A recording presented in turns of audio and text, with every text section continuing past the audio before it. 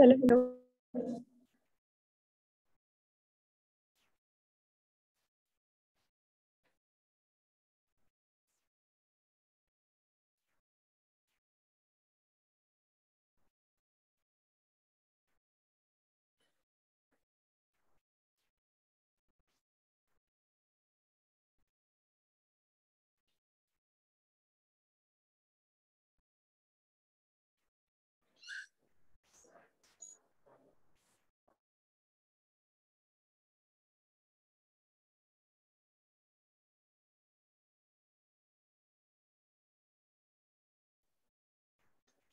अस्सलाम वालेकुम। वालेकुम अस्सलाम मैम।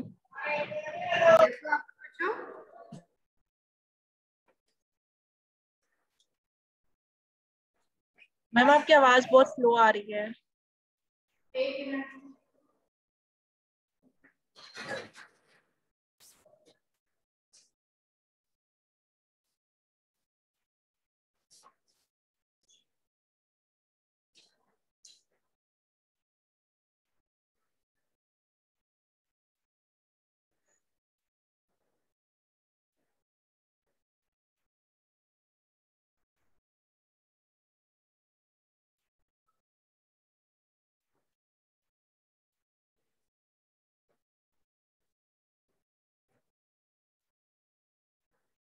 जी। आप लोगों का पेशेंट सेफ्टी का अभी हमारे पास टॉपिक सिक्स है, ठीक है? सिक्स लेक्चर है। और इसको हम आज स्टार्ट करते हैं। लास्ट लेक्चर में हम लोगों ने क्या पढ़ा था? क्या ख्याल है?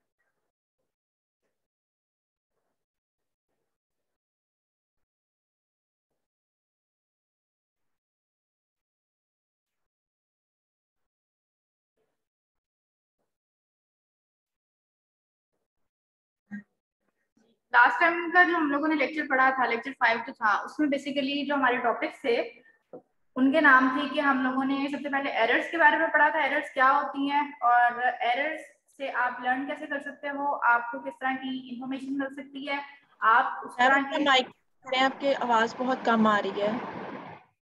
एक मिनट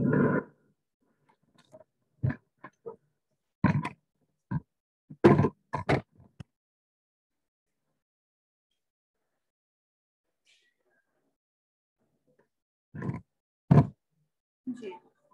अब बेहतर है कुछ? Yes ma'am ji. तो लास्ट लेक्चर में हम लोगों ने एरर्स के बारे में डिस्कस किया था कि ये क्या होती हैं एरर्स किसको कहते हैं वायलेशन किसको कहते हैं नियर मिसेस क्या होते हैं हमारे पास जो हिंड साइड बायस है वो क्या है?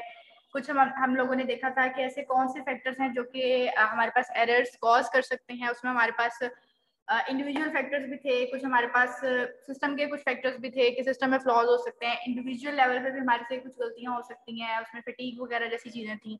इसके अलावा हम लोगों ने आरसीए मॉडल पढ़ा था हम लोगों ने ठीक है जी? इसके अलावा हम लोगों ने आज जो हम लोगों ने देखना है वो है कि हमने understanding and managing clinical risk यानी क्लिनिकल रिस्क मैनेजमेंट जो है वो आप कैसे कर सकते हो उसकी अंडरस्टैंडिंग आप लोगों ने थोड़ी सी डेवलप करनी है कि वो क्या होती है। और बीइंग अ स्टूडेंट आप किस तरह से हेल्प कर सकते हो उस चीज़ में? हम लोगों ने ये कुछ देखना है इसमें। ठीक है जी? अभी मैं आप लोगों को स्क्रीन शेयर करती हूँ, अपनी और मैं दिखाती हूँ।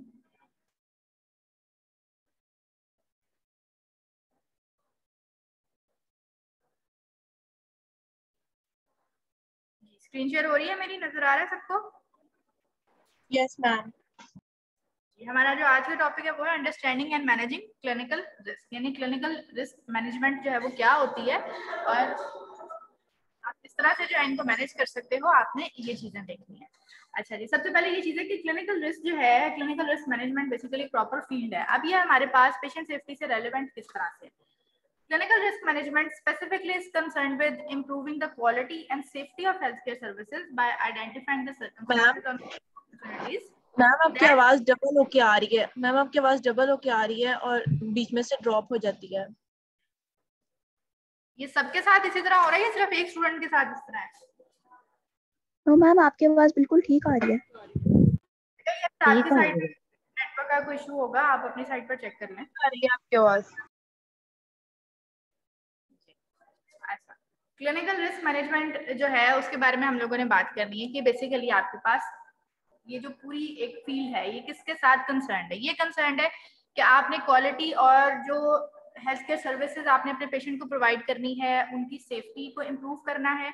इम्प्रूव आप कैसे करोगे? उस तरह के सर्कमस्टांसिस को आइडेंटिफाई करोगे और उस तरह के आप फैक्टर्स देखोगे जो कि आपके पेशेंट को एट रिस्क पे रख सकते हैं किसी भी रीजन की वजह से, ठीक है जी?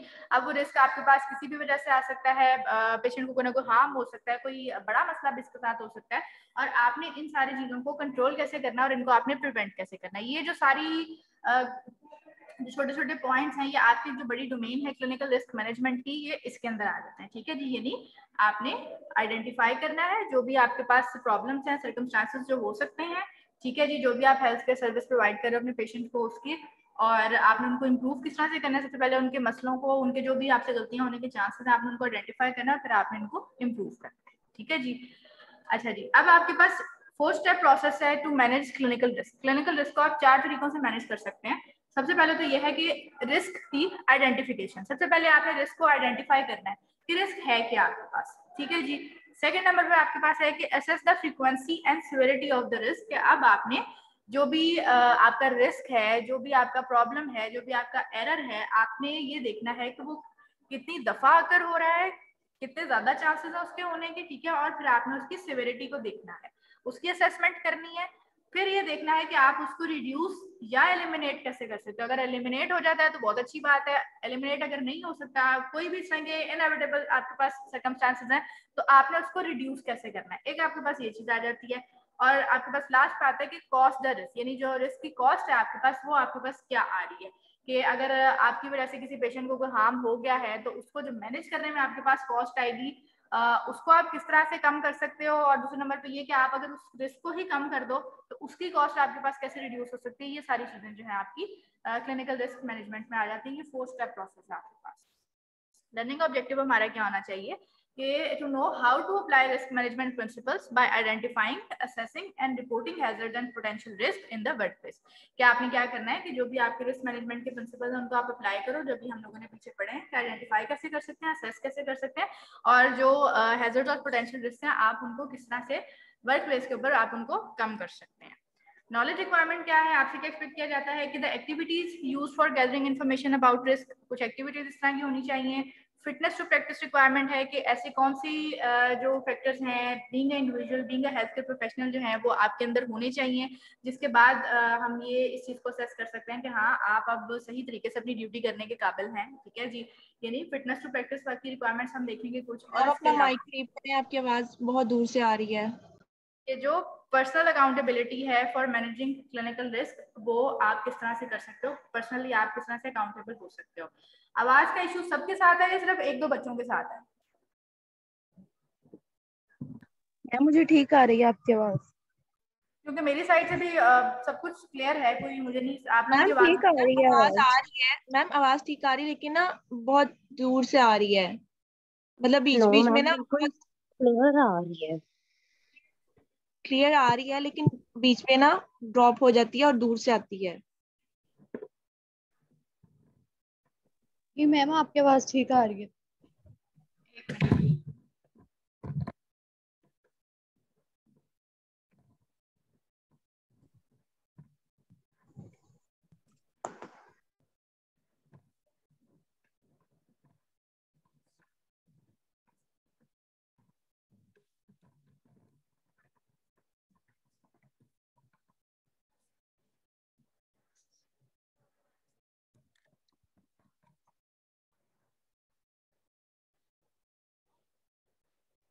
जी। अब देखते हैं किस तरह से आवाज़ आती है। नॉलेज रिक्वायरमेंट के बारे में मैंने आप लोगों को बता दिया। अब बेहतर है आवाज़ थोड़ी सी? यस मैम ठीक है जी यस मैम आप आइए थोड़ी सी। परफॉर्मेंस रिक्वायरमेंट क्या है? अब आप लोगों से एक्सपेक्ट क्या किया जाता है कि to know how to report known risk और hazards in the work place कि आप को जो भी हैजर्ड्स हैं वर्क प्लेस के ऊपर जो भी रिस्क और हैजर्ड्स हैं, इस तरह के आपको उनको रिपोर्ट करना आना चाहिए। Keep accurate and complete medical records यानी जो भी आपके पास इस तरह के इंसिडेंट्स हो रहे हैं, उनका रिकॉर्ड रखना, उसको देखना आना चाहिए। Self assess to reduce the risk of errors cause by inadequate knowledge and skills आपने सेल्फ अकाउंटेबिलिटी रखनी है सेल्फ असेसमेंट रखनी है कि जो रिस्क ऑफ़ एरर्स है, इस तरह के जो भी आपके पास हो रहे हैं इनएडुकेट नॉलेज एंड स्किल्स की वजह से, यानी इंडिविजुअल की गलती की वजह से जो हो रहे हैं, उनके लिए सेल्फ अकाउंटेबिलिटी होनी चाहिए। Participate in meetings that discuss risk management and patient safety इस तरह की मीटिंग में आप पार्टिसिपेट करें, अगर आप किसी भी ऐसे इन्वायरमेंट में जाते हैं हेल्थ केयर सर्विसेज़ में जाते हैं, वहाँ पे उन हॉस्पिटल्स में अगर बहुत अच्छी सेटिंग है तो वहाँ पे जो है वो काफ़ी रेगुलरली जो है वो इस तरह की मीटिंग्स जो है वो रखी जाती हैं, इस तरह की कुछ वर्कशॉप्स रखी जाती हैं जिसमें इस तरह की ट्रेनिंग्स दी जाती हैं। तो अगर आप इस तरह किसी इन्वायरमेंट में काम करें तो उस तरह की मीटिंग्स को भी आप लाजमी अटेंड करें जहाँ पे रिस्क मैनेजमेंट से रिलेटेड जो है वो कुछ इन्फॉर्मेशन दी जाए पेशेंट सेफ्टी से रिलेटेड गाइड किया जाए। इसके अलावा यह है कि respond appropriately to patients and families after an adverse event कि आपको जो है, ये जो सारा अब अगर कोई जिस हो भी जाता है, कोई तरह का हार्म पेशेंट को हो भी जाता है तो उसके बाद आपने उसको कैसे डील करना है? पेशेंट के साथ, उसकी, उनकी फैमिलीज़ के साथ, किसी भी एडवर्स इवेंट के बाद, ये चीज़ें आप लोगों को आनी चाहिए, ठीक है जी? इसके अलावा रिस्पॉन्ड अप्रोप्रिएटली टू कंप्लेन यानी जो भी कंप्लेन सब पेशेंट्स की होंगी तो उनको आपने अच्छे तरीके से रिस्पॉन्ड करना है। अच्छा जी। अब हमारे पास चीज़ आती है कि क्लिनिकल रिस्क मैनेजमेंट की एक्टिविटीज़ क्या हो सकती है, ठीक है जी? एक्टिविटीज़ में अब हमने ये देखना है कि क्या क्या ऐसे आप काम कर सकते हैं जिनसे आप जो क्लिनिकल रिस्क मैनेजमेंट का आपका जो गोल है वो अचीव कर सकते हैं, ठीक है? गोल हमारा यही है कि हमें सबसे पहले एडवर्स इवेंट्स का पता हो, उनको हम आइडेंटिफाई करें, फिर उनकी असेसमेंट करें और उसके बाद उनको रिड्यूस या एलिमिनेट कर सकते हैं, ठीक है जी? अब सबसे पहले ये कि आपने उनको आइडेंटिफाई करना है आइडेंटिफिकेशन के लिए अब आपके पास कुछ चीज़ें जो है वो क्या होनी चाहिए, उसमें से अब आपके पास एक चीज़ आती है कि इंसिडेंट मॉनिटरिंग के जो भी आपके पास इस तरह के कोई भी अनफॉर्चुनेट किस्म के इवेंट्स हो गए हैं, आपने उनकी मॉनिटरिंग करनी है, आपने उनको देखना है, आपको पता होना चाहिए उनकी प्रॉपर रिपोर्टिंग होनी चाहिए। सेकंड नंबर पे सेंटेनल इवेंट्स आते हैं। सेंटिनल इवेंट्स क्या है? सेंटिनल इवेंट्स इसी तरह के तरह का बेसिकली कोई भी एक हार्मफुल किस्म का इवेंट होता है अनफॉर्चुनेट इवेंट होता है ये इसको नहीं होना चाहिए, बहुत खतरनाक होता है, इसमें यानी कि काफ़ी कुछ आ जाते हैं पेशेंट फॉल आ जाते हैं पेशेंट डेथ्स आ जाती है इस तरह के इवेंट्स हैं जिनको हर सूरत में नहीं होना चाहिए। सेंटिनल इवेंट्स उस तरह के इवेंट्स होते हैं। फिर यह है कि the role of complaints in improving care यानी कि आप, जो भी आप पेशेंट की कंप्लेंट्स है। हमारे यहाँ पे क्या होता है कि अगर कोई बंदा कंप्लेन करता है तो यूजली होता है कि वो अगर रिटर्न कंप्लेन है तो आपके पास एक प्रॉपर फाइल्स का एक खदा बड़ा होता है, ठीक है रिटर्न कंप्लेन होगी तो उसी में आकर कहीं गुम हो जाएगी। यानी कोई बंदा उसके ऊपर एक्शन नहीं लेता। तो ये है कि केयर को इम्प्रूव करने के लिए स्पेशली हेल्थ केयर को इम्प्रूव करने के लिए, जो कंप्लेन्स का रोल है, वो बहुत ज़्यादा इंपॉर्टेंट है। इंपॉर्टेंट इस तरह से है, अगर कोई पेशेंट जो है या पेशेंट का कोई फैमिली मेंबर है, अगर वो किसी चीज़ से रिलेटेड कंप्लेन कर रहा है वो कंप्लेन आप क्यों करते हो? कंप्लेन बेसिकली किस लिए की जाती है कि आप किसी भी जो भी आप, किसी भी सेटिंग में आप हो, वहाँ के, उनके इन्वायरमेंट से, उनके काम से, जो सर्विसेज़ आपको प्रोवाइड की जा रही हैं, आप उनसे सेटिस्फाइड नहीं हो। ठीक है जी? ये जो डिससेटिस्फेक्शन वाला जो फैक्टर होता है यही आपका जो है वो कंप्लेन का कॉज बनता है। आप लोग अब यहाँ पे भी कंप्लेन करते हो, अपने डिपार्टमेंट में भी कंप्लेन करते हो तो तब उसी के रिज़ल्ट में करते हो कि आप जो है वो सेटिस्फाई नहीं हो रहे कि जो है वो आपका काम इस तरह से नहीं हो रहा, आपका काम इस तरह से होना चाहिए था, वो किसी ने इस तरह से किया नहीं है, ठीक है जी? तो जो डिससेटिस्फेक्शन होती है, ये जो है, ये एंड पे आपके पास कंप्लेन का कॉज बनती है। और जब कंप्लेन जब आ जाती है तो उसको रिस्पॉन्ड करना, उसके ऊपर एक्शन लेना आना चाहिए। आना इस तरह से चाहिए इस तरह नहीं है कि आप जो है वो डायरेक्ट जाके ब्लेम गेम स्टार्ट कर दें या कुछ भी इस तरह का सीन शुरू कर दें, ये चीज़ बिल्कुल गलत है। कंप्लेन है, उसके सारे फैक्टर्स को आइडेंटिफाई करें, वही वाली चीज़ है कि आपने जो भी आपके रिस्क और इस तरह के आपने पहले उनको आइडेंटिफाई करना है फिर उसकी असेसमेंट करनी है कि ये कंप्लेन किस लेवल पे है। आइधर ये एक सिस्टम्स लेवल पर है, एक बड़े लेवल पर है, या ये इंडिविजुअल लेवल पर है, उसको आपने देखना है, ठीक है जी? Complain and concern where the individual is responsible जहाँ पे इंडिविजुअल रिस्पॉन्सिबल है, आप वहाँ पे उनके ऊपर फोकस करें।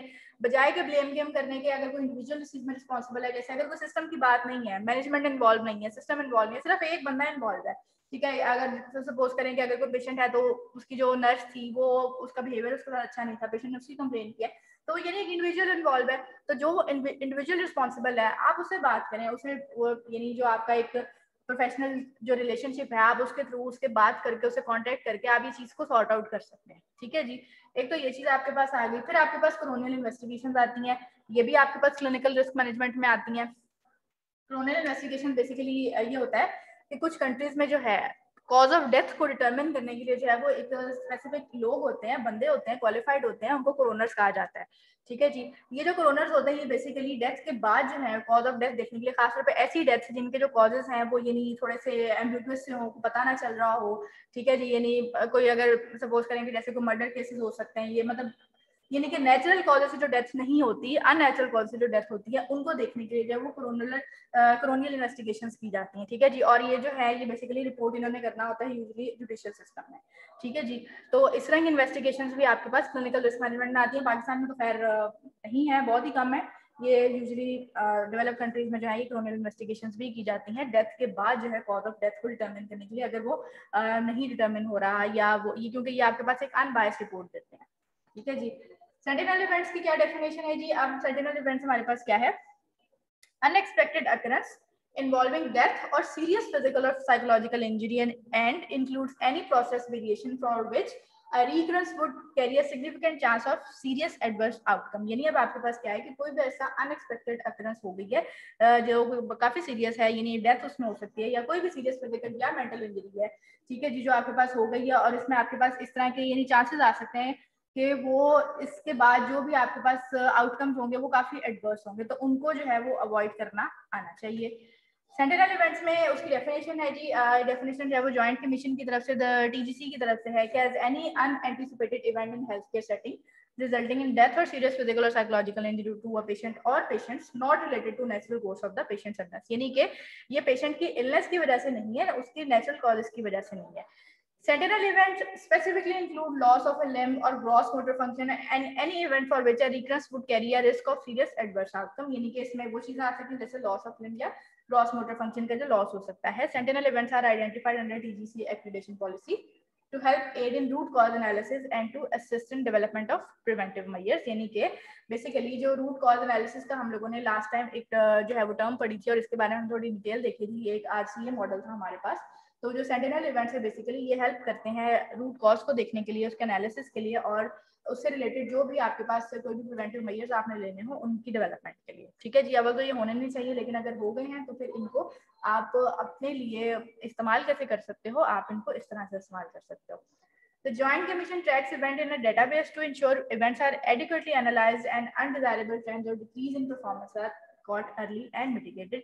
यानी बेसिकली जॉइंट कमीशन जो है इंटरनेशनल कमीशन है, इसका बेसिकली क्या काम है? किसने इस तरह के जो सारे इवेंट्स हैं, इनका एक अपने पास रिकॉर्ड रखना है, ठीक है जी उनका ट्रैक रखना है और बेसिकली उनके ट्रेंड्स को फॉलो करना है और ये सारा जो भी एडवर्स आउटकम्स है, उनको रिड्यूस करने की तरफ़ काम करना है, ठीक है जी?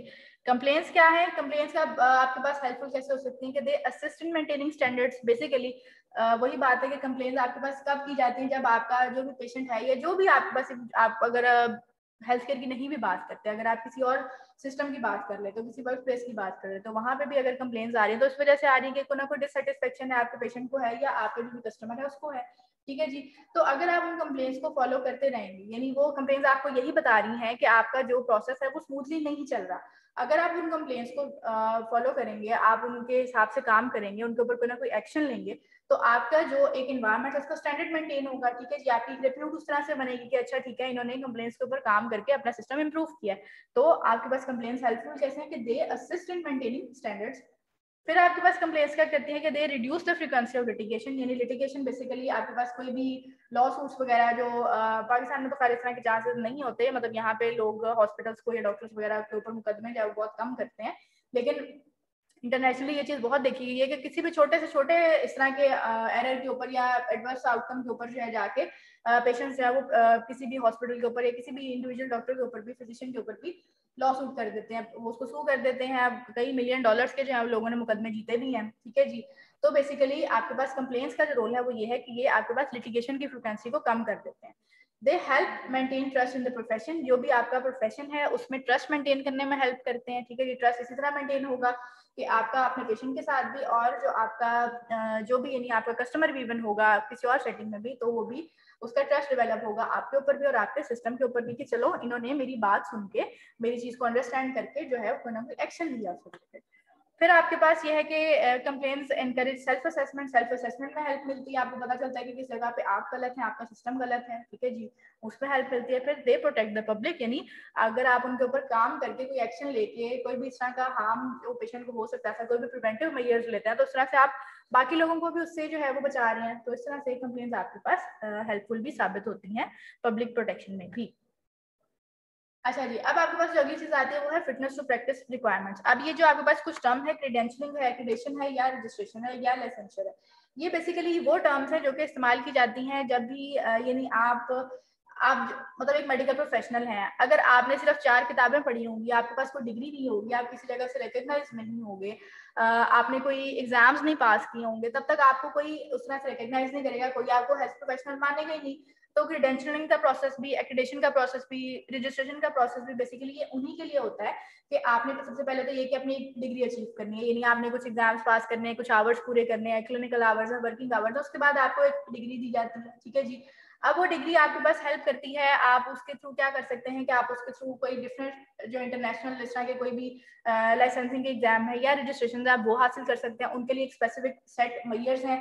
आपने उनको फॉलो करना है आपने इतनी ईयर्स तक जो आपका क्लिनिकल एक्सपीरियंस होना चाहिए, इतने आपके एग्ज़ाम्स पास होने चाहिए, उसके बाद जाके आप किसी भी बॉडी के साथ रजिस्टर्ड हो सकते हैं। जैसे कि अब हमारे यहाँ पाकिस्तान में जैसे पीएमडीसी था, ठीक है जी, पाकिस्तान मेडिकल एंड मेंटल वो मेडिकल एंड डेंटल काउंसिल थी।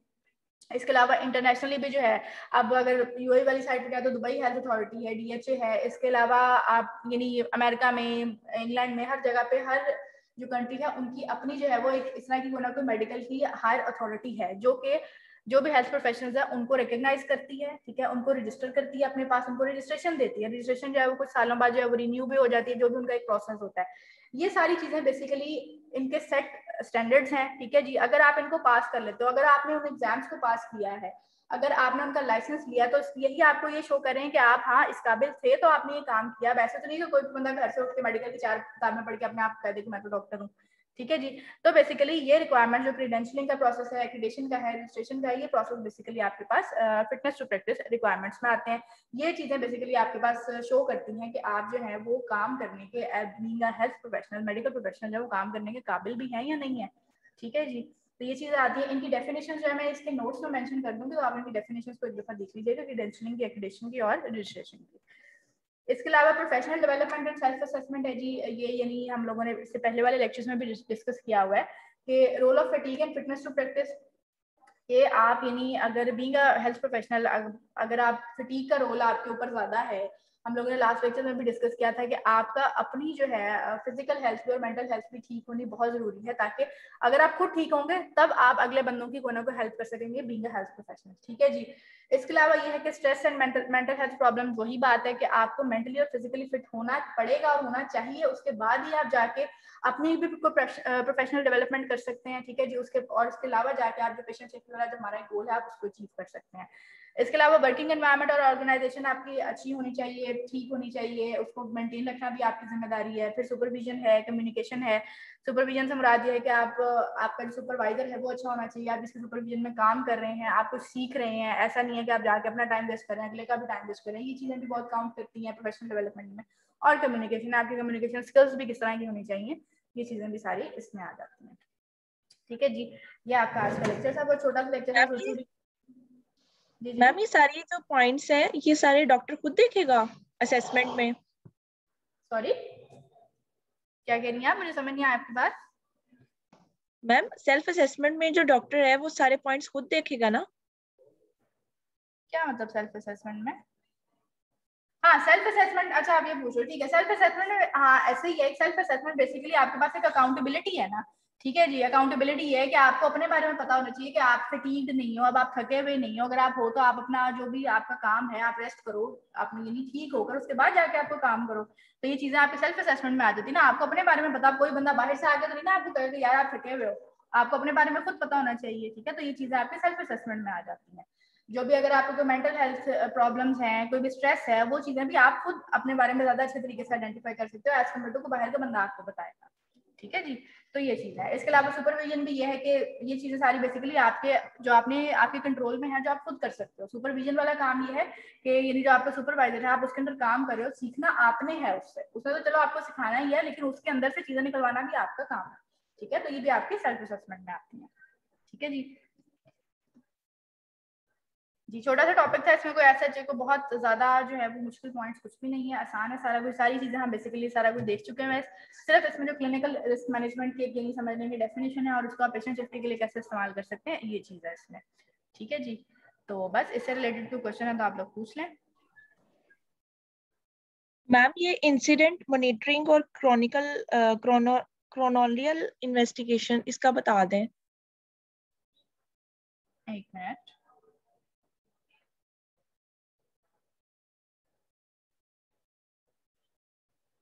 जी। इंसिडेंट मॉनिटरिंग बेसिकली यही है कि अक्सर हॉस्पिटल्स में भी इंटरनेशनली भी अगर आप लोग देखो तो कोई भी अगर इंसिडेंट इस तरह के होते हैं यानी हार्मफुल इवेंट्स हो गए हैं जिनके एडवर्स आउटकम हुए जिसमें काफ़ी चीज़ें आ जाती हैं।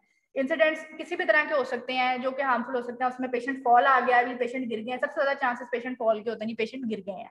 ठीक है जी एक ये चीज़ आ जाती है। फिर आपके पास इंसिडेंट्स इस तरह के हो सकते हैं कि जी आ, मतलब गलत डोज लग गई है पेशेंट को गलत मेडिकेशन लग गई है गलत टाइम पे लग गई है। ठीक है, एक ये चीज़ें आ जाती हैं। फिर मेडिकेशन के अलावा सर्जिकल प्रोसीजर्स में भी जो है वो, उसमें भी कुछ गलतियाँ हो सकती हैं। इस तरह की जो जो चीज़ें आती हैं, आपके पास ये इंसिडेंट्स कहलाते हैं। हम लोग पहले डिस्कस कर चुके हैं कि इंसिडेंट इस तरह का कौन सा होता है, ठीक है जी? अब उनकी मॉनिटरिंग मॉनिटरिंग से मुराद ये है कि अक्सर जगहों पर, अक्सर अच्छी क्लिनिकल सेटिंग पे जो है इस तरह के कोई भी अगर एडवर्स इवेंट्स होते हैं तो उनका एक पूरा रिकॉर्ड रखा जाता है। रिकॉर्ड से मुराद ये कि उनके ऊपर रिपोर्ट्स बनाई जाती हैं, उनकी प्रॉपर इंक्वायरी की जाती है और उसके बाद उनका एक रिकॉर्ड रखा जाता है। तो मॉनिटरिंग बेसिकली इसीलिए है ताकि आप उनको मॉनिटर करेंगे, आप उनके जो रूट कॉज एनालिसिस है उनको निकालेंगे, उनको अपने पास रिकॉर्ड रखेंगे, उसको ठीक करने के लिए आप जो कर सकते हैं आप वो करेंगे और आपके पास ताकि इस चीज़ का रिकॉर्ड रहेगा कि ये चीज़ हमारे पास पहले हो चुकी है, अब ये दोबारा हमारे पास ऐसी गलती नहीं होनी चाहिए। तो ये चीज़ें आपके पास है, वो इंसिडेंट मॉनिटरिंग में आ जाती है। यानी आपने जो भी इंसिडेंट्स हो रहे हैं, आपने उनको मॉनिटर करना है। मॉनिटरिंग से मुराद यही है कि आपने उनको प्रॉपर स्टडी करना है, उनके आइडेंटिफिकेशन करनी है, जो भी रिस्क है उसकी, ठीक है, उसको मैनेज करने की जो भी आप कर सकते हैं, आपने वो देखना है। ठीक है जी, उसके बाद क्रोनियल इन्वेस्टिगेशन का मैंने बताया कि क्रोनियल इन्वेस्टिगेशन पाकिस्तान में तो खैर बहुत कम होती है या नहीं भी होती है दूसरी कंट्रीज़ में जो है खासतौर पर ऑस्ट्रेलिया में, अमेरिका वगैरह में, वहाँ पे इस तरह है। कि वे जो भी अननेचुरल कॉजेज होते हैं डेथ के, यानी डेथ के बाद पेशेंट की डेथ के बाद, जो भी अननेचुरल कॉजेज की वजह से अगर डेथ हुई है तो उनको देखने के लिए, उनकी रिपोर्ट्स बनाने के लिए स्पेसिफिक लोग हायर किए जाते हैं, उनको कोरोनर्स कहते हैं, ठीक है जो? कोरोनर्स जो है, वो उनकी रिपोर्ट बना के एक अनबायस्ड रिपोर्ट होती है, यानी वो ना तो मेडिकली उस तरह से, यानी उसमें मतलब वो किसी के अंडर होते हैं, ठीक है? वो यानी इंडिपेंडेंट होते हैं, उन्होंने रिपोर्ट बनानी होती है रिपोर्ट बना के जो भी अगर मेडिकल केस चल रहा है, कोई भी इस तरह का यानी अगर ये आपकी जुडिशरी सिस्टम में चला गया है तो उन्होंने वहाँ पर जाकर जो है वो इसके बारे में सारा कुछ देखना होता है, वहाँ पर उन्होंने रिपोर्ट देनी होती है, ठीक है? और इनकी रिपोर्ट के ऊपर फिर एक्शन लिया जाता है, जिस भी तरह की इनकी रिपोर्ट है। तो क्रोनल इन्वेस्टिगेशन में ये चीज़ें आती है, ये सारी चीज़ें क्लिनिकल रिस्क मैनेजमेंट एक्टिविटीज़ में आ जाती है। यानी बेसिकली यहाँ पे आपको ये बताया जा रहा है कि कौन कौन सी एक्टिविटीज़ जो है वो आपकी क्लिनिकल रिस्क मैनेजमेंट की जो भी हमने एक डोमेन पढ़ी है, इसमें आती है, ठीक है? उसमें क्या क्या चीज़ें आ सकती है। कि रिस्क मैनेजमेंट जो है वो आपको क्या क्या बताता है। हम लेकिन देखें इंसिडेंट मॉनिटरिंग और क्रोनोलिकल इन्वेस्टिगेशन जो है वो एक ही चीज़ नहीं क्योंकि उसमें भी इंसिडेंट ही हो रहा है और उसमें वो मॉनिटर कर रहे हैं और वो रिपोर्ट कर रहे हैं कि हम लोग दोबारा इस तरह की चीज़ ना हो और उसमें इन्वेस्टिगेशन उसमें भी यही हो रही है।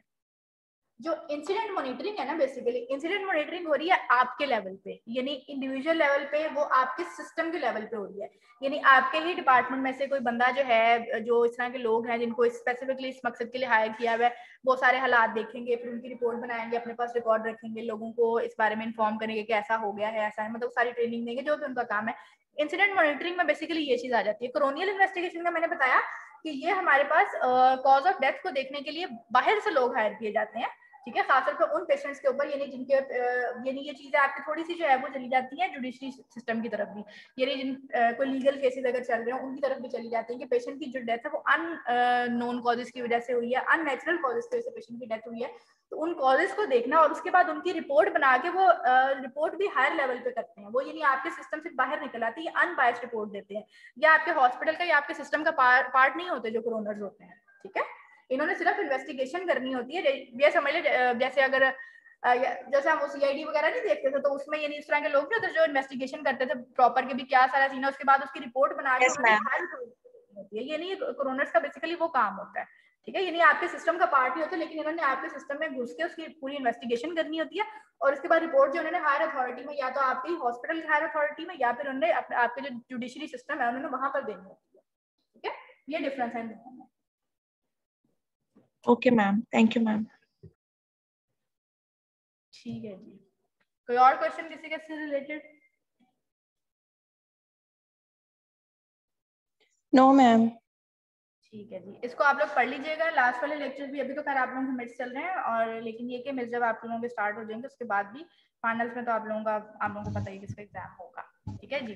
मैम हमारे मिड्स में क्लास होगी। मैम मिड्स की क्लास का अभी तक कोई इन्फॉर्म नहीं किया गया पता चल जाएगा तो मैं एक ईमेल कर दूँगी ठीक है कि अगर क्लास होनी हुई या ना होनी ठीक है? तो मैम लेकिन ऑनलाइन नहीं होगी ना? कैंपस में तो नहीं होगी? नहीं नहीं इनकी क्लासेस तो पेशेंट सेफ्टी ऑनलाइन ही होगी। ओके मैम ठीक है जी। चलें जी अल्लाह हाफिज मीटिंग मैं कर रही हूँ। मैम जी जी। मैम जब हम एडमिट हो रहे होंगे तो हम लोग क्लास के आपके पास आके ले सकते हैं? क्योंकि कैंपस में ही होंगे हम। पेशेंट सेफ्टी की क्लास वैसे है तो ऑनलाइन ही। यानी इसके लिए कोई क्लास असाइन नहीं की हुई है ठीक है? Uh, मैं इसके बारे में वैसे पूछ लूँगी कि आफ्टर मिड्स जो है कि अगर बच्चे आना चाहते हैं तो फिर हम कोई क्लास असाइन करके जो है वो छोटी क्लास रख लेते हैं ठीक है? तो मैं फिर आपको इन्फॉर्म कर दूँगी मिड्स आप लोग दे लें उसके बाद ही ये नहीं होगी क्लास ये अगर ऑन कैंपस भी होती है तो ठीक है? Okay ma'am